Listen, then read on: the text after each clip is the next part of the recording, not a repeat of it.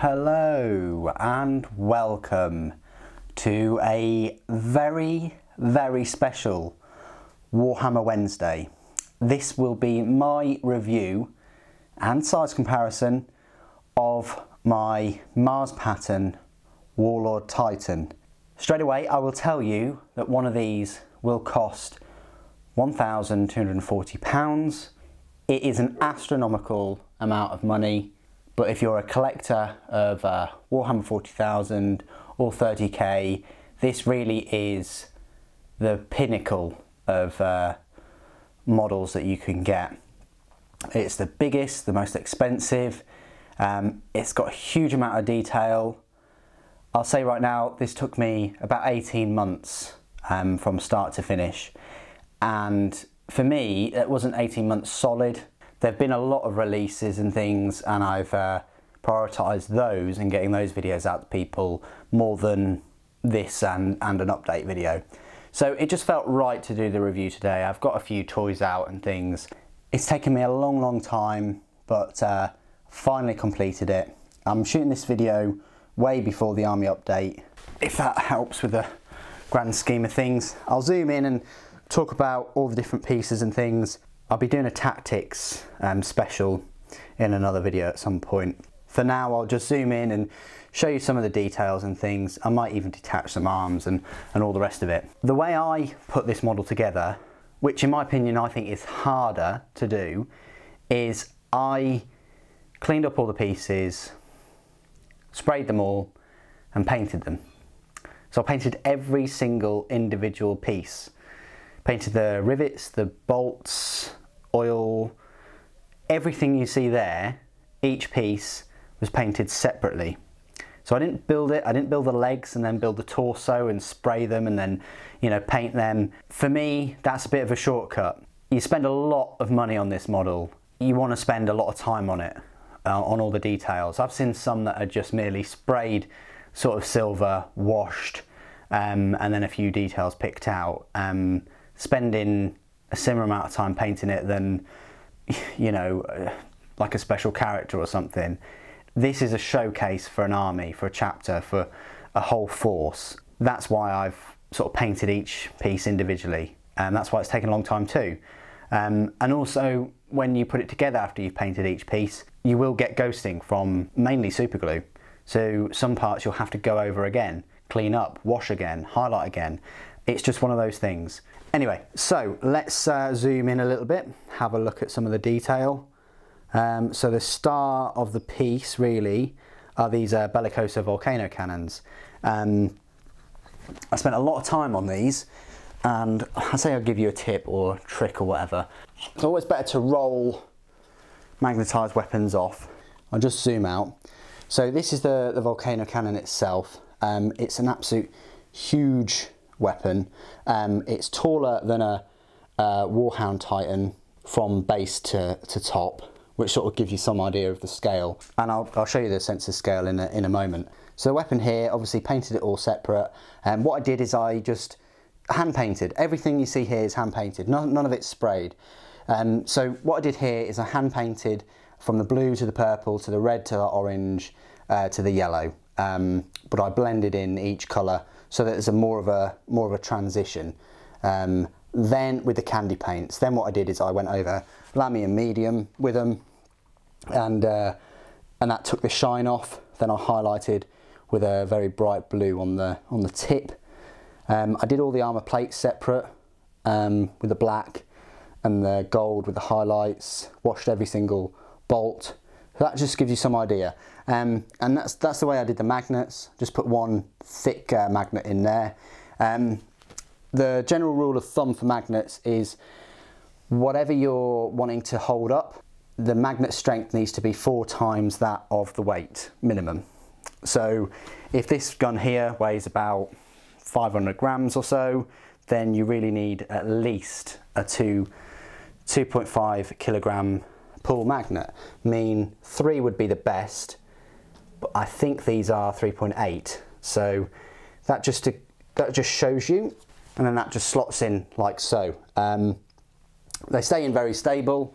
Uh, obviously this top bit is very, very heavy, but it's, it's quite stable. I've got a strong magnet in the hips and I can freely turn the model around as I, as I wish.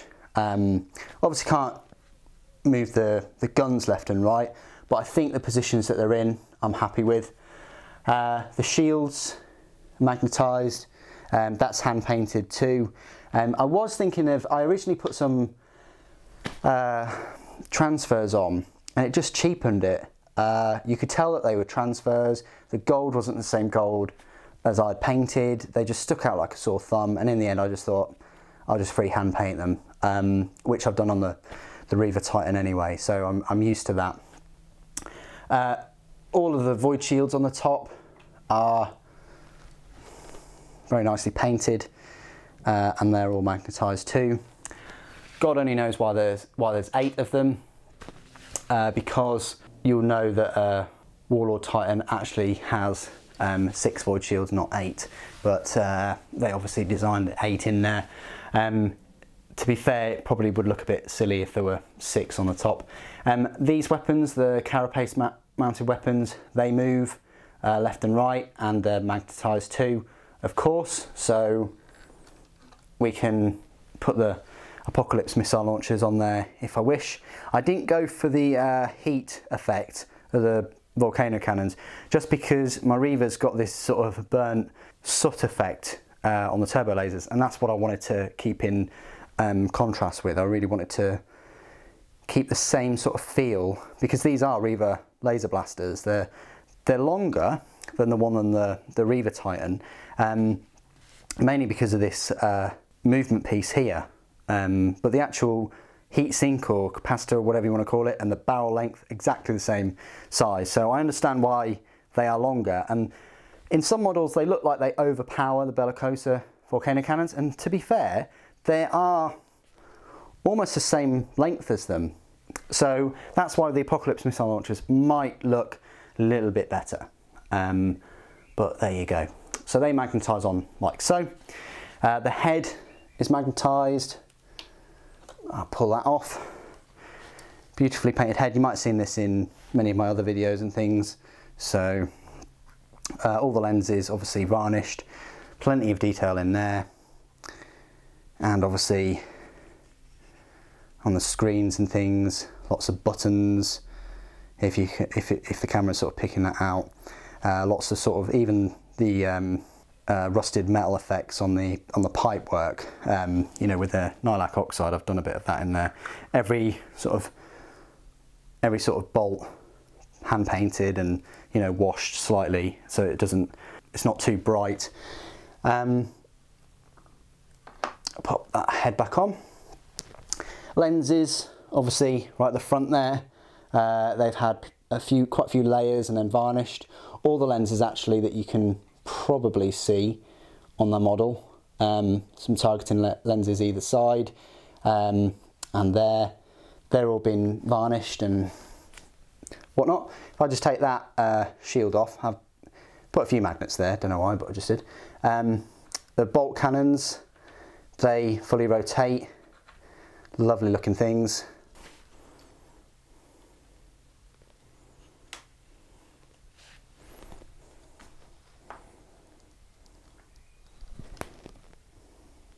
So that's his full sort of um, movement arc. He sort of stops there um, just because of the way the, the model is made.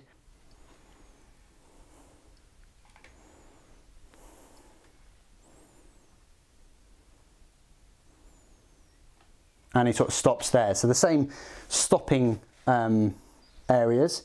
What I'll do is I'll uh, pick him up and turn him around.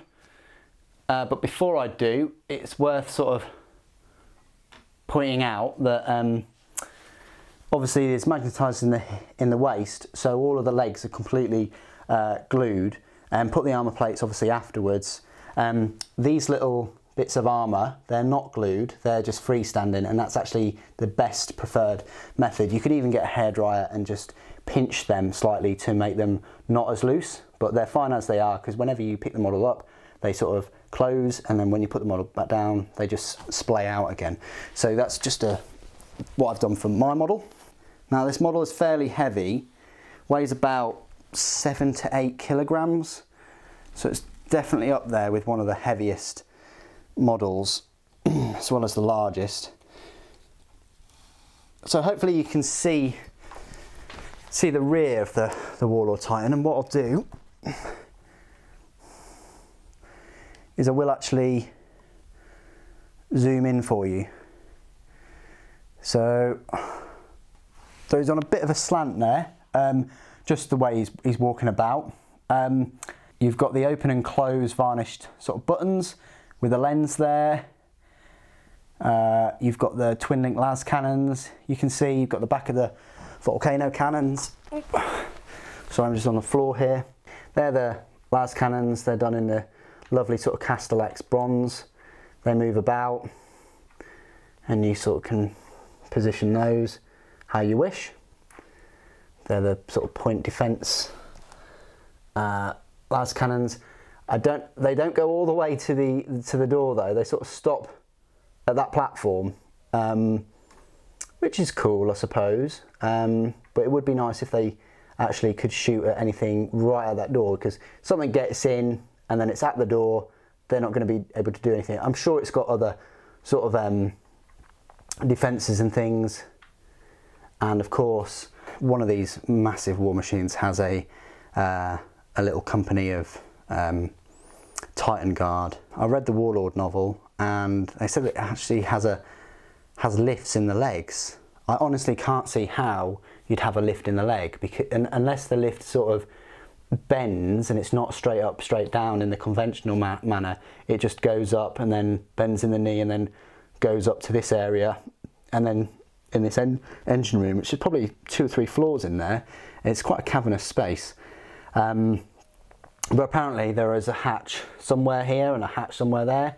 Uh, obviously there's definitely a hatch there. Um, you know, for Secutarii apparently to, um, you know, get in and, you know, repel invaders and all the rest of it. But that, that's more detailed in, in the novel. Um, I just explained all that. I'm pointing at the model and it's zoomed in, isn't it? Um, anyway, uh, so the uh, exhaust vents, massive, huge things, uh, a load of soot, uh, weathering sort of stuff on there. I've built and painted the model um, like it's fresh out of the factory. I put a bit of dirt and stuff on, on its feet, but not too much. It's a fresh, brand new Warlord Titan and it's mine, so I, I can pretty much say, well, yeah, it has just come out of the, the factories and things. You know, maybe it's a new a new uh, Forge World or whatever. I could create my own sort of backstory. That's that's the freedom this hobby sort of gives you. So yeah, what I'll do is I'll, I'll just turn him around and then uh, show you some size comparisons. So here he is next to a uh, massive dreadnought. Can you see the dreadnought in that shot? It's just he's just there. Look, he could just. I mean, the foot is almost bigger than the dreadnought laid down. Um, he could almost just kick him gently and that would just annihilate him, uh, which goes to show you how big these things are. Okay, so I've just added a, uh, a Space Marine there. As you can see, he's just here. So that gives you sort of some, another perspective of uh, size of this. His pose is looking a bit odd. It, it doesn't normally look this odd because I normally put him sort of like that. I normally have that a bit lower.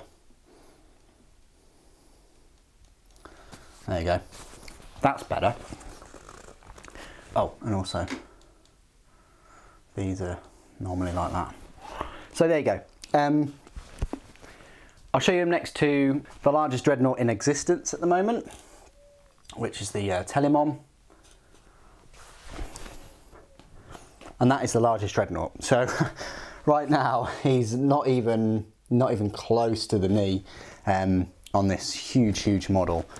Uh, you can see a, a, Warhound Titan over there. I'll bring him into the shot now. There you go. Uh, I've also put a, a knight on the right hand side of him. That's the colour scheme I'm going for with the black and the gold. Like I said before, I did think about transfers for the Warlord. Uh, I did think about uh, hand painting um, literature and scrolls and all the rest of it on his armour joints. But um, in the end, I just thought less is more. Um, I like the bold contrast and to have a panel white or red or with lots of writing or transfers in my eyes, I just felt that it cluttered the model up, um, like the Night Titans. Now, for other people, absolutely fine, but that's the beauty of the, the hobby, um, is it's your model and you can choose what to do with it. Um, if you like all of the contrasts with the different colours, the big black and yellow hazard markings, um, you know, go for it. You know, if you you can make the model look the way you want. Um, that's the beauty of it.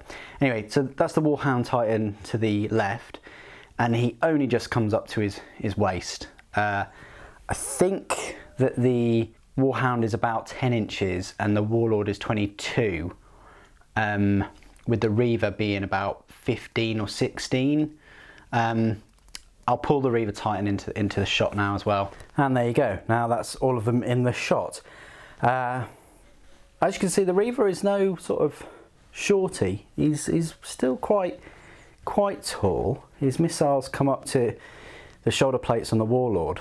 Um, and I do have the Reaver in sort of an upright-ish position. So I hope that's useful.